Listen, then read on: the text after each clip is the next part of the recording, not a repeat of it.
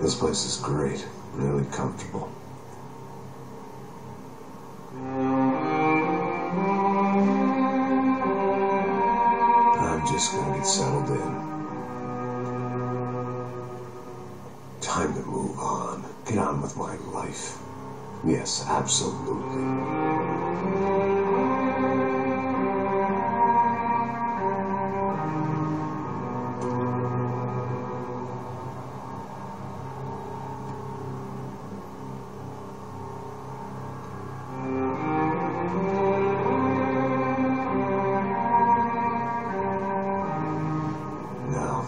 I said, it was a long time ago. Let it go. Seriously.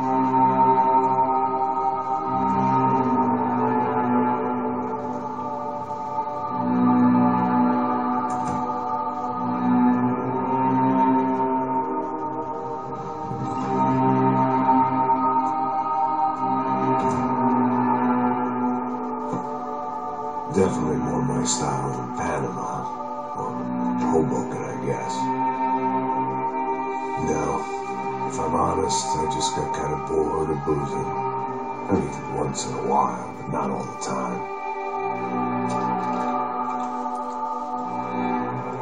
Right. It wasn't doing me any favors. Maybe I lost my self-respect, but it's back. Excited. Really. I really needed a new start.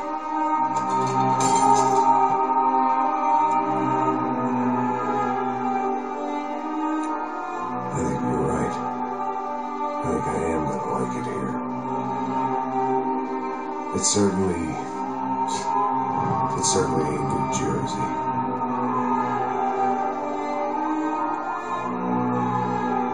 It's my new life, just like you said.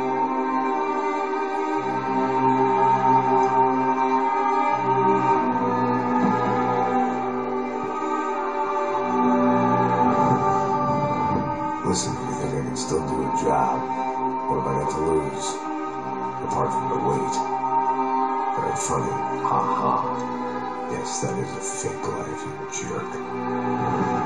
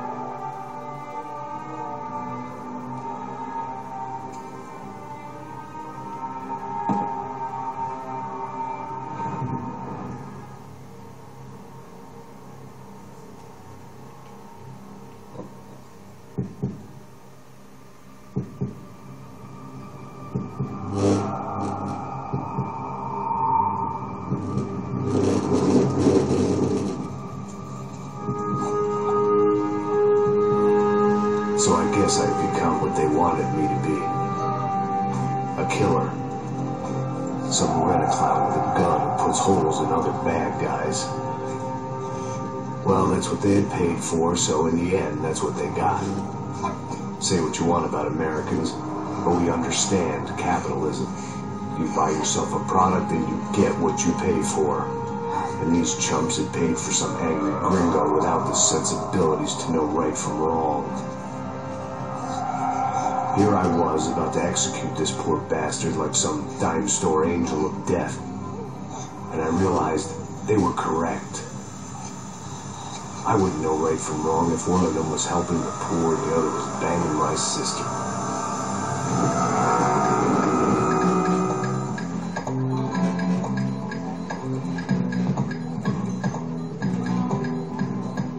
I'd arrived in Sao Paulo a few weeks before.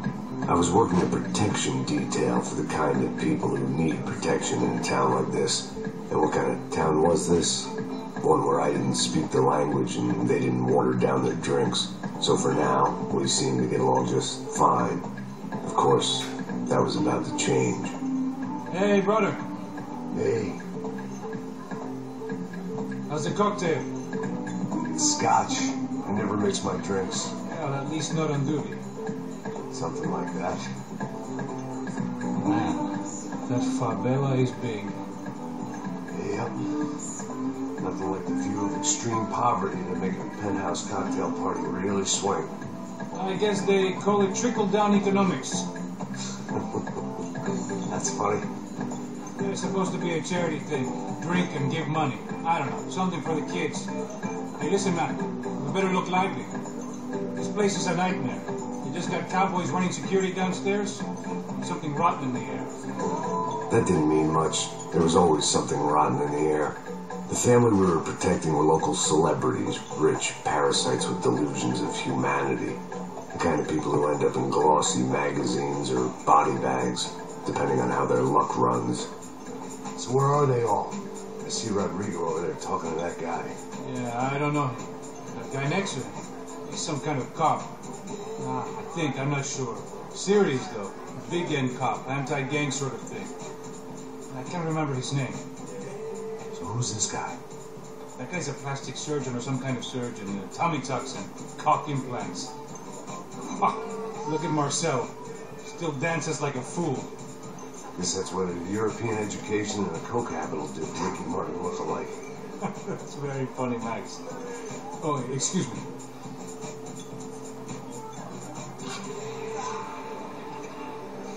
I was mostly working for Rodrigo Branco, a local businessman. Built things, did some charity, had things named after him, won awards, owned things, people. One of the trophies he had won was his wife, Fabiana. She was hot and wanted to be dangerous. Some good genes trying to fight their way out of a cesspit. She'd married well and was now at leisure to regret her good fortune. They got along as well as any rich workaholic and his younger airhead wife tend to get along. They mostly ignored each other. She spent a lot of time with his cokehead younger brother, Marcelo. He was a good time guy if your idea of a good time was an expensive suit, a bottle of champagne, and nothing between the ears. The middle brother, Victor, had just walked in. He was a local politician. Guy was smoother than an oil slick on an iceberg and about as toxic. The rest of the crowd, I didn't know, but I could imagine the types. People who know if they drink enough, they won't have to feel guilty about their good fortune. Suddenly, things turned real ugly. Felt like our hangovers arrived right on cue.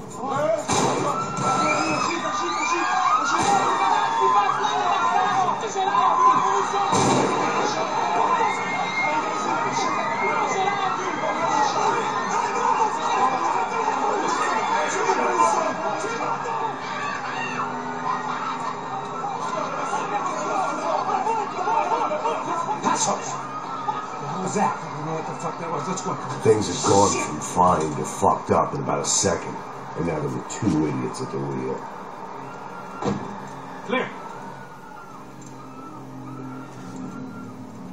Got this floor? Sure. Look after yourself, bro. Stay safe. It wasn't my own safety I was concerned about, trophy wife or not. I'd said I would protect the girl. I hoped I hadn't lost my edge, along with everything else. It was time to choose a nasty fall or a bullet to the head.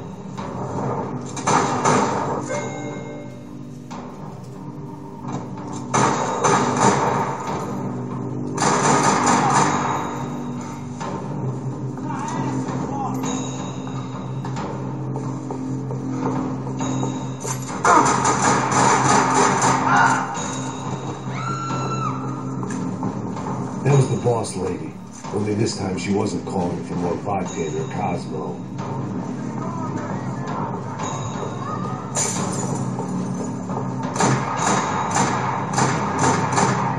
She was out on one of the balconies, and I hoped not about to be thrown off.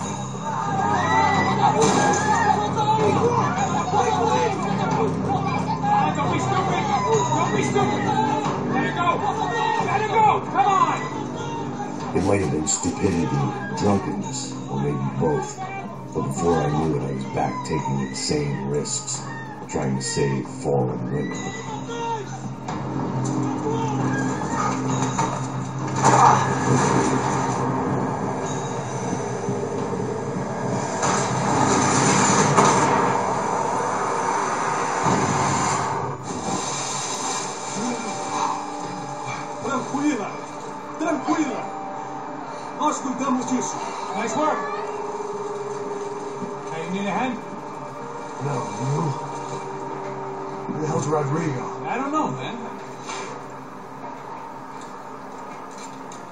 Somebody's gonna. Está tudo sob controle agora. Fica tranquilo.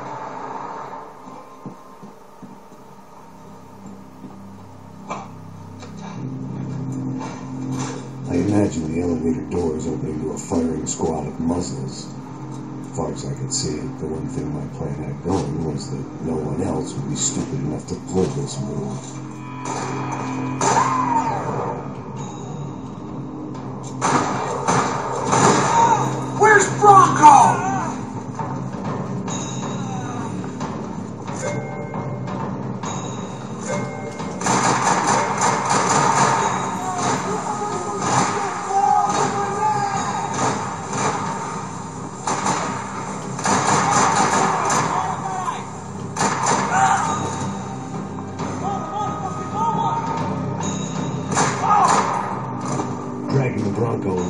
Along would slow them down, but not much.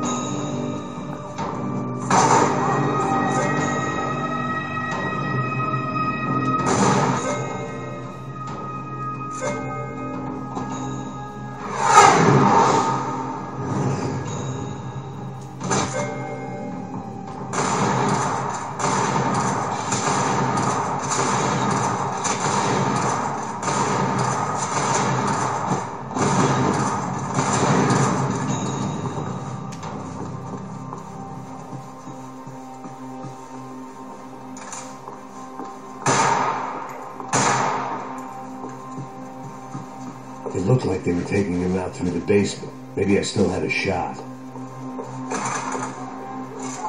Rodrigo was too rich a prize for them to throw away. Sure, I'd have to work hard to get him back, but I knew the bad guys would want the boss alive. Almost as much as I did.